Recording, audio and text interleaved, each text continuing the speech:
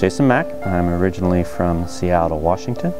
I am now in College Park, Maryland, and am a pastor of New Leaf Church in College Park.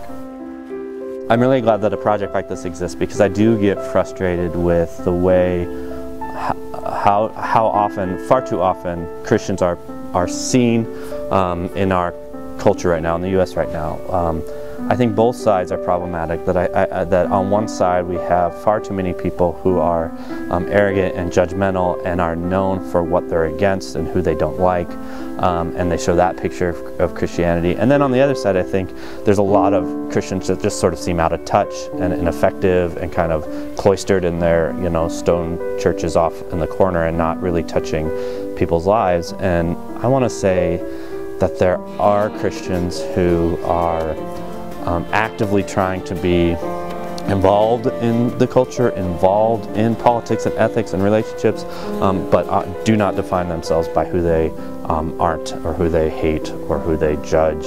Um, that there are Christians who, you know, take the Bible very seriously, but don't don't then therefore um, judge people for being gay. There are people who take Christ very seriously, but then don't therefore judge someone for being a Muslim. Um, that there, there is a place and there are communities that are exploring what it looks like to be both very Christian and very much in love with God, in love with Jesus, but not trapped in the political dichotomy that so much of the church seems to be stuck in. Um, so I hope that if someone is either on the inside of the church just about to head out because they're sick of it, or on the outside of the church being drawn in but can't find a place that doesn't turn them off, that you would keep looking, you know, and if um, like emerging church language, just Google that, you might find something in, in town, um, you know, or just, just keep asking around and, and trying to find maybe a small church in your area that's trying to do both those things well.